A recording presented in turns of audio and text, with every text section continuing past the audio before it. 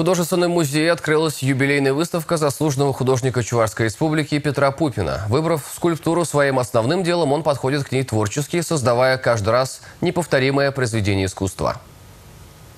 Без прошлого нет будущего.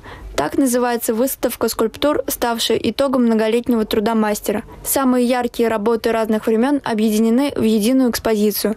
Сестра Галина специально приехала из Новосибирска, чтобы быть рядом с братом в очень важный для него день.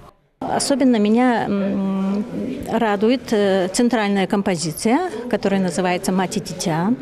В моем, в моем понятии это рождение новой жизни, рождение нового человека, э, очень светлая, очень много любви в этой композиции, радости и вот именно вот какой-то божественный божественный свет э, на лице женщины.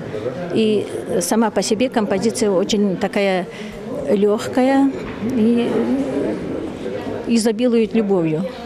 Фигурки людей, мифологические персонажи, бюсты знаменитостей. Петру Пупину любят заказывать скульптурные работы, зная его легкую руку и стремление к изящности форм. В своей экспозиции художник умело передает национальные черты характера чувашского народа и даже фрагментами его культурной традиции.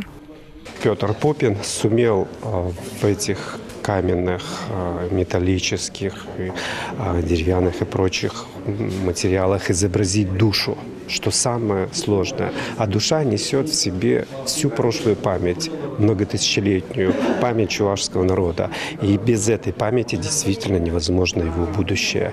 И именно эта память, она позволяет нам верить и надеяться в то, что мы сумеем сохранить культуру нашего народа и передать ее своим детям, своим потомкам.